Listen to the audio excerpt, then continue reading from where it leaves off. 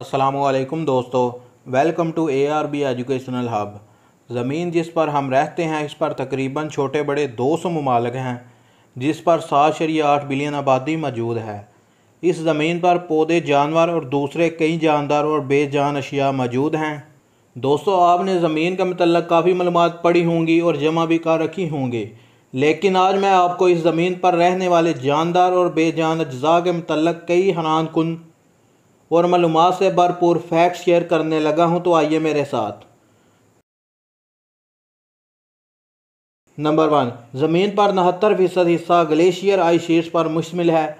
एक अमरीकी जियोलॉजिकल सर्वे के मुताबिक दुनिया के कुल पानी का छियानवे फ़ीसद हिस्सा समंदरों से हासिल होता है।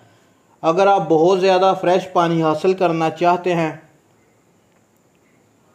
तो आपको पोल्स का विज़िट करना चाहिए। क्योंकि बर्फ़ की तहों के नीचे अड़सठ शारिया सात फ़ीसद पानी होता है। नंबर दो, दोस्तों, ये फैक्ट सुनकर आपके तो होश उठ जाएँगे, क्योंकि ये आपका एवरेज स्टोम से कहीं ज़्यादा ऊपर की बात है। तो जी दोस्तों, उन्नीस सौ छियानवे में ऑस्ट्रेलिया के एक आइसलैंड बारू में एक ऐसा तूफ़ान आया, जिसने नाकबले यकीन रिकॉर्ड तोड़ डाले। इसमें हवा की रफ्तार दो सौ तिरपन मील फ़ी घंटा रिकॉर्ड की गई। इससे पहले उन्नीस में दो सौ मील फ़ी घंटा रिकॉर्ड की गई थी। नंबर थ्री, बारिश के बाद बनने वाली कोसे कज़ा यानी रेनबो तो हर किसी को पसंद है, क्योंकि ये कभी कभी नज़र आती है। जब ये बनती है तो सब ही शौक से देखते हैं। लेकिन क्या आपको मालूम है कि सबसे अच्छी रेनबो आप किस जगह पर देख सकते हैं? अमेरिकन मेट्रोलॉजिकल सर्वे के मुताबिक 2021 में उन्होंने हवाई में एक पहाड़ पर देखा। कि रेनफॉल और बादलों के बाद बहुत ही खूबसूरत और रंगों से भरपूर रेनबो का नज़ारा देखने को मिलता है। ये उन्होंने बहुत मरतबा वहाँ नोटिस किया। इसके बाद उस जगह को रेनबो देखने के लिए बेहतरीन जगह करार दे दिया गया। नंबर फोर इंसान की पैदाइश से ही मछली का ज़िक्र सुनने को मिलता है और इंसान इसको शौक से खाता भी है और इसका शिकार भी करता है।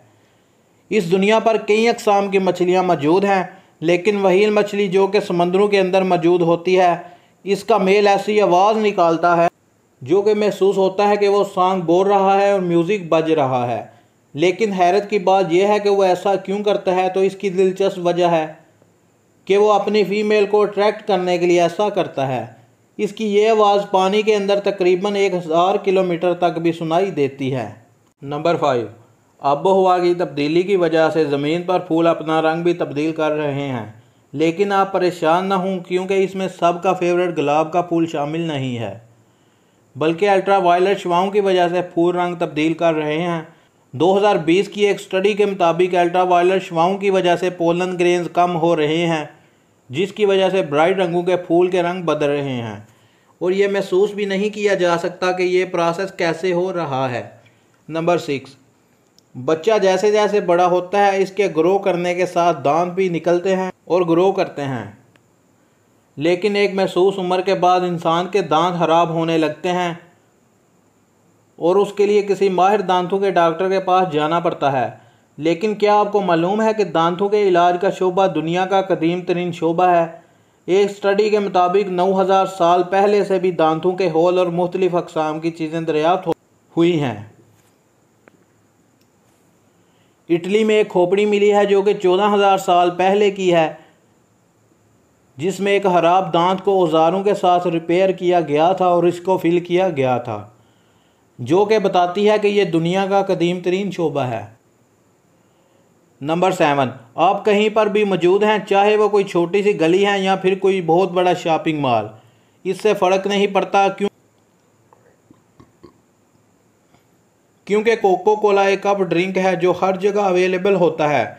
लेकिन दिलचस्प बात आपको बताते चलें कि दुनिया में दो जगह ऐसी हैं जहाँ पर कोको कोला नहीं खरीदी जा सकती और वहाँ फरोहत भी नहीं होती और वो हैं शुमाली कोरिया और क्यूबा इन जगहों पर इस पर पाबंदी है।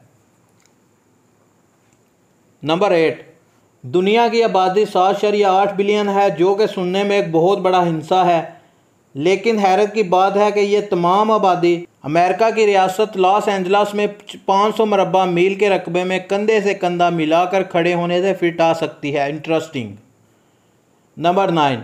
हज़ारों बच्चे तो डेली ही पैदा होते हैं, लेकिन इनमें कई ट्विंस होते हैं, जो कि एक रियर बात लगती है। लेकिन एक सर्वे के मुताबिक 1980 में हर 50 बच्चों में से एक ट्विन होता था, जो कि आबादी का दो फ़ीसद बनता था। और उन्नीस सौ पचानवे में ये अढ़ाई फ़ीसद तक गई। 2001 में ये तादाद तीन शरिया तीन फ़ीसद तक पहुँच गई और 2010 में हर 50 में से 30 बच्चे ट्विन होते हैं। साइंसदानों का ख्याल है कि आने वाले दौर में जुड़वा बच्चों की पैदाइश में इजाफा होगा।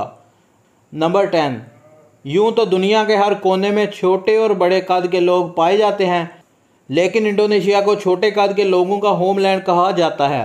यहाँ हर मर्द खवातीन का एवरेज का तकरीबन पाँच फुट एक शरीय पाँच इंच होता है।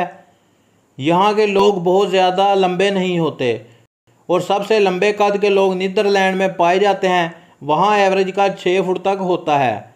दोस्तों, उम्मीद है कि आज की वीडियो आपके लिए काफ़ी मालूमती रही होगी। अगर वीडियो अच्छी लगे तो लाइक करें और चैनल को सब्सक्राइब करें। और मज़ीद अच्छी अच्छी वीडियो देखने के लिए कमेंट लाजमी करें।